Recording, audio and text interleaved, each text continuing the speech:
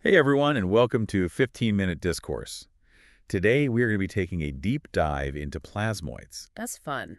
Now, a plasmoid is basically a self-contained structure of plasma held together by its own magnetic field. Kind of like a little blob of lightning. Yeah, exactly. And we're going to be looking at some research papers, historical accounts, even some potential connections to unexplained phenomena. Very cool. First up, let's talk about how these plasmoids are created. One method that stood out to me was the research from Los Alamos National Laboratory, where they actually use these plasma guns. Oh, yeah, those are awesome. Yeah, they use plasma guns to fire this ionized material across a magnetic field. And the strength of that magnetic field is really important. It is. It is. They used fields around 4,000 gauss, I believe. Wow. Yeah, and they found that the experimental setup also played a big role. Like when they used four different plasma sources, they created these ring-shaped plasmoids. Ring-shaped plasmoids, now that is a visual. It is. It is very cool stuff. And those rings can maintain their shape for a surprisingly long time, too. Oh, wow. How long are we talking about here? At least 30 seconds, which is way longer than you'd expect. Really? 30 seconds? Yeah, it's pretty wild. And get this, they observed these rings seemingly seeking each other out and attaching themselves together like little plasma buddies. So they are like forming these little plasma friendships. That's pretty amazing. I know, right? And the structures they created were even more incredible, almost like barred spirals. Barred spirals. Now that's getting pretty complex for like a, a, blob of lightning. I know, right? It makes you wonder just how complex these formations can get. Okay, so we got these rings, and sometimes they make little plasma friends. They form these barred spirals. But what about other shapes? The research mentioned something called S-plasmoids. Yeah, so S-plasmoids are a specific type of plasmoid known for their instability. When they're in free space, without any external magnetic fields, they have a tendency to expand and become oblong, kind of like a stretched out circle. So they are a little bit more unpredictable. A little bit, yeah. Is there any way to, like, stabilize them or contain them? Researchers are looking into using external DC magnetic fields to try and stabilize them. Okay, so like a magnetic fence to keep them in line? Exactly. It's like building a little magnetic corral for them. But uh, it's still an area of active research, so there's a lot we don't know about how to control their behavior. So it's like trying to wrangle a tiny lightning storm. It kind of is. Speaking of containment, we were talking about those ring-shaped plasmoids and how they are stable so they don't randomly turn into a figure eight or do something crazy like that? No, they generally hold their shape quite well. But here's something really cool. When they used eight plasma sources to create these rings, they observed the rings moving along the magnetic field lines, almost like they were traveling along a designated path. So it was like a plasma highway. Yeah, exactly. It's like they are on a magnetic roller coaster. And it gets even cooler if you look at the stereo photographs taken with a 20 degree separation. You can see that the plasma material inside these rings is actually twisting, kind of like a DNA helix. Oh, so not only are they traveling along these magnetic highways, but they are like doing a little dance as they go. Yeah, it's pretty amazing. It just shows how even within something as chaotic as plasma, there are these intricate structures and forces at play. That is just mind-blowing. Now, all this talk about plasmoids is making me think about ball lightning. Mm -hmm. I've always been fascinated by that. Is there any connection to plasmoid research? Oh, definitely. Actually, one of the big questions surrounding ball lightning is understanding its energy source. Some reports suggest that it can contain energy levels upwards of 10 to the sixth joules, which is a massive amount of energy, much more than you would get from simply ionizing the equivalent volume of air. So what is fueling this incredible amount of energy? That is the big question.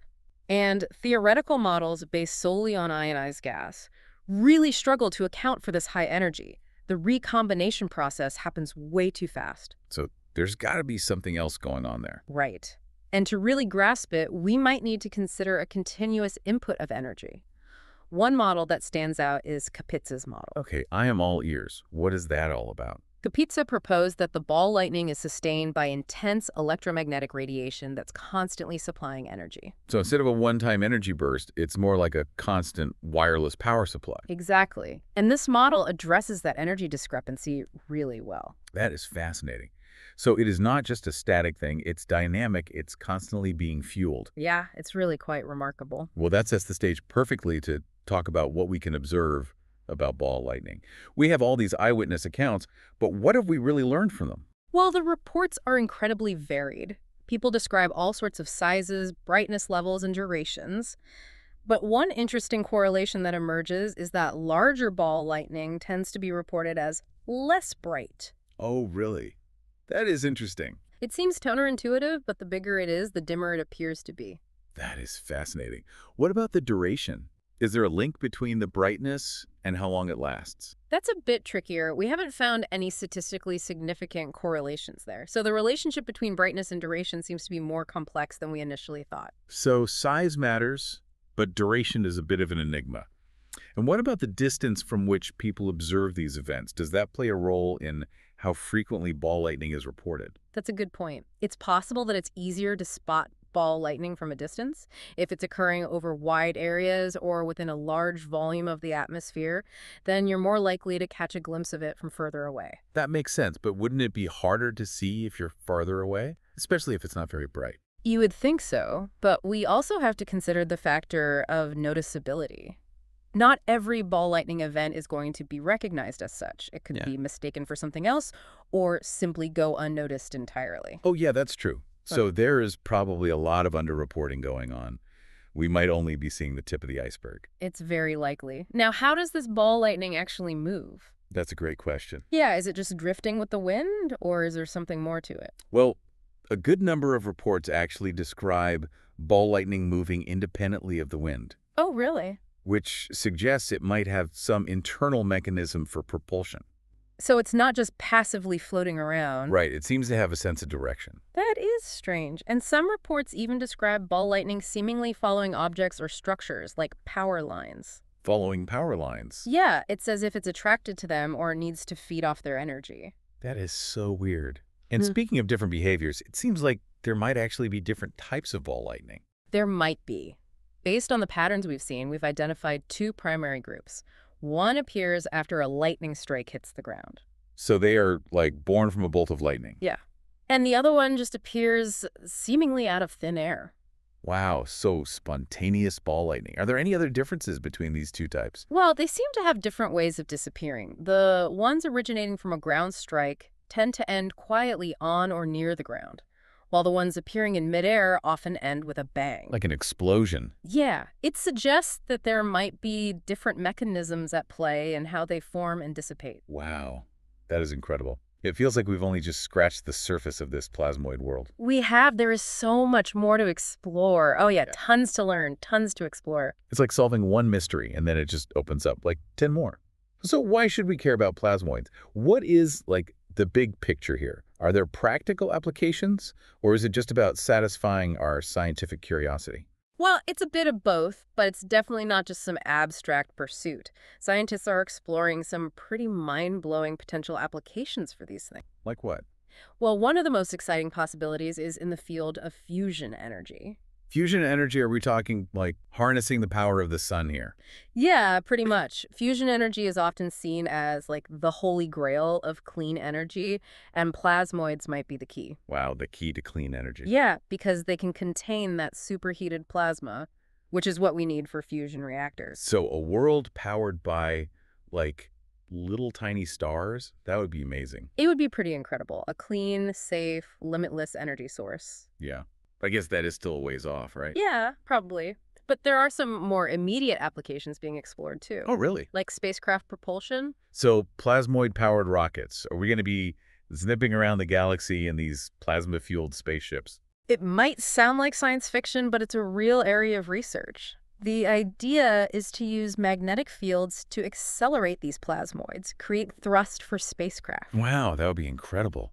Reaching incredible speeds, exploring distant planets, maybe even venturing out to other star systems. That would be amazing. It's pretty exciting stuff. Okay, so we have clean energy, space travel, but let's bring it back down to Earth for a minute. Remember we talked about those unexplained phenomena? Uh-huh. Well, I am thinking about those UFO sightings that have puzzled people for so long. Mhm. Could some of those be misidentified plasmoids?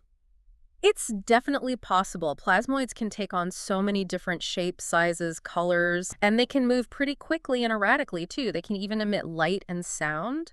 So if you don't know what a plasmoid is, it is easy to see how someone might mistake it for something extraordinary, especially if they're seeing it in the sky at night. Yeah, I can imagine that, like a glowing orb of plasma just zipping around in the dark. Mm-hmm. It'd be pretty startling.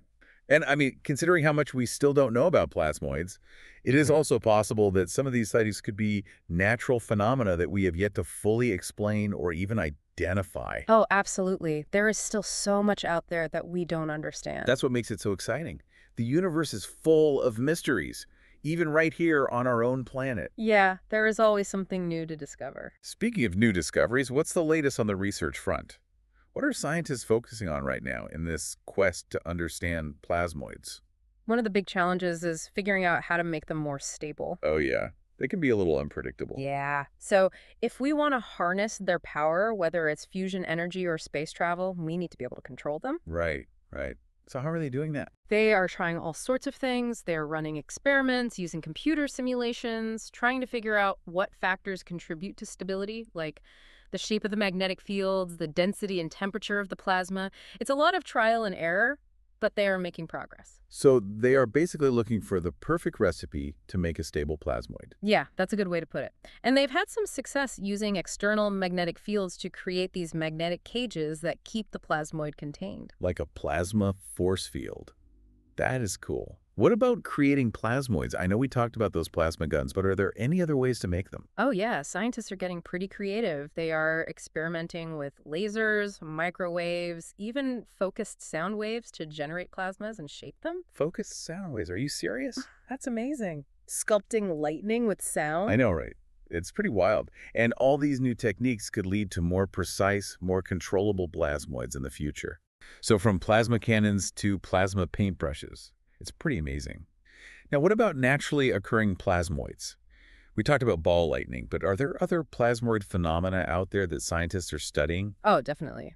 One area that's really fascinating is the study of plasmoids in space. Grace plasmoid. Yeah, space plasmoids. That's awesome. Where do they hang out? What are they doing out there in the cosmos? Well, they're pretty much everywhere in the sun's atmosphere, around planets, in nebulae, Wow. Even just floating around in interstellar space. They're like these little cosmic building blocks playing a role in all sorts of amazing events like solar flares, the auroras we see here on Earth, oh. even the formation of stars and galaxies. So plasmoids are kind of like the unsung heroes of the universe. Yeah, they are. And by studying them, we can unlock so many secrets about the universe, its history, its evolution. It's like having this cosmic Rosetta Stone. Now, what about the search for extraterrestrial life? Could plasmoids play a role in that as well? Well, some scientists believe they could. We talked about the possibility of plasmoid-based life forms, but there's also the idea that plasmoids could be a sign of alien technology. Alien technology. Now you're talking my language. How so? We know we can create plasmoids artificially here on Earth, and some have speculated that advanced alien civilizations could be using them for all sorts of things, you know, generating energy, powering their spacecraft, even communicating across vast distances. Communicating. Yeah. Wow, so if we see some strange plasmoid activity out there, it could be a sign that ET is trying to call us. Well, maybe. It's definitely a possibility. But, you know, we always have to be careful not to jump to conclusions. There could be other explanations, natural phenomena that cause this unusual activity, but it's definitely something worth investigating further. Right, right. Yeah. We have to keep an open mind. And it's a good reminder that the search for extraterrestrial life shouldn't just be focused on finding biological organisms like ourselves. We need to be open to all sorts of possibilities. Life forms that might be completely different from anything we have ever imagined. It's true, the universe is a vast and mysterious place. It is, it is, full of surprises. Well, I think we have reached the end of our deep dive into the incredible world of plasmoids. It has been a fascinating journey. It really has. We have covered so much ground, the basic science of these things, their potential to revolutionize energy and space travel, the uh, mind-boggling philosophical implications, and of course, their role as cosmic building blocks. It's really amazing stuff. It is. And it's just the beginning. There's so much more to learn and explore. Absolutely. And to all our listeners out there, if you are as captivated by plasmoids as we are, we encourage you to keep exploring, keep asking questions, and keep your minds open to the wonders of the universe. There's so much more to discover out there. There is. And if you've enjoyed today's deep dive, be sure to subscribe to our podcast for more adventures into the fascinating world of science and technology. We have many more incredible discoveries to share with you. Until next time, keep those minds curious, those imaginations firing. And remember to like and subscribe. We'll catch you on our next deep dive.